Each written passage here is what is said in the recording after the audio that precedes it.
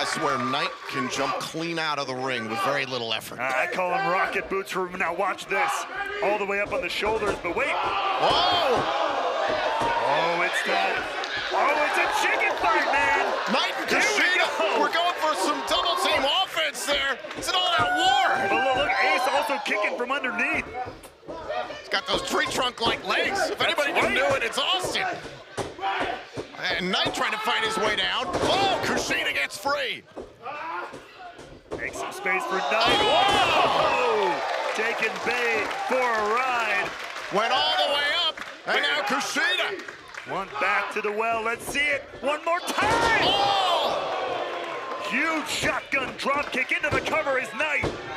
Oh, and Austin ramming Kushida into the pile, breaks up the pinfall.